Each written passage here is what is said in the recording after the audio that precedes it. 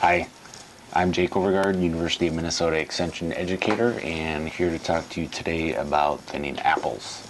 Um, as you may know, or you can see here, apples can flower really quite profusely, and so um, if every one of these flowers were to become an apple and be harvested, uh, we would have a lot of apples, but they would be uh, really quite small and, and low quality, uh, which is which are the main two reasons that that we do thinning. Um, we can also reduce the issue of alternate bearing, which is where uh, one year you would get a very large crop, and the following year, or potentially years, uh, you would get uh, little or, or if any apples at all. Um, by thinning, we can also improve the um, how the apples mature. They'll mature more more evenly. Also, it's an opportunity to get in there and uh, remove any diseased apples or apples that have been damaged by insects too. Um, so, as you may know, uh, each spur you can get you know five or six flowers per spur. Uh, this is a little bit earlier in the bloom period. Uh, later on, um, start dropping their petals, and uh, you've got the, the fruit initiation occurring.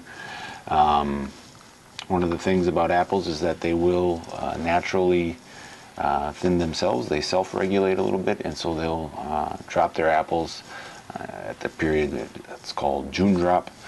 Um, and so we benefit from, that. Um, there's also chemical thinning uh, that you can do and it's available for both conventional or um, organic growers. It just they would use different different processes and chemicals. Uh, I believe that these the apples in this photo um, had uh, chemical thinning, and these are organic apples. And so instead of five or six apples per spur here, we've got three or four, uh, which reduces the amount of time that we have to spend. But for now, I'm just talking about hand thinning.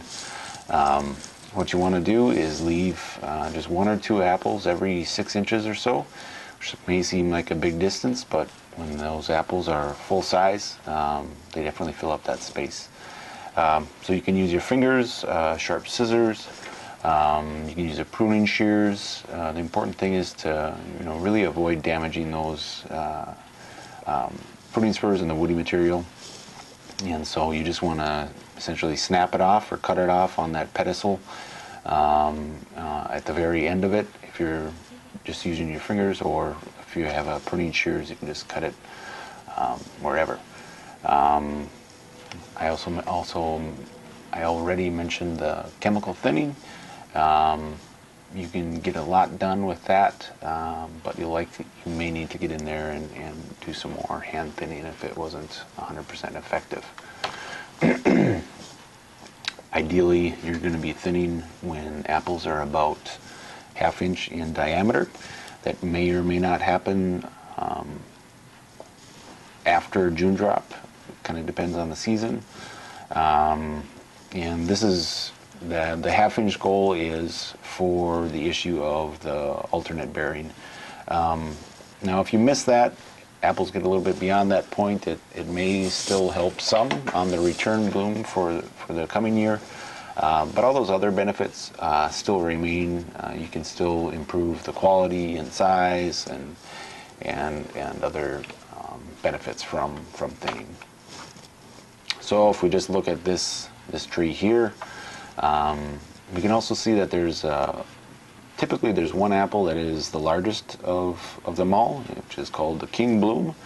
And so we also want to pick that one that is the largest um, as well. And so if you look at these, we're going to take out uh, those few apples and, and, just leave the one.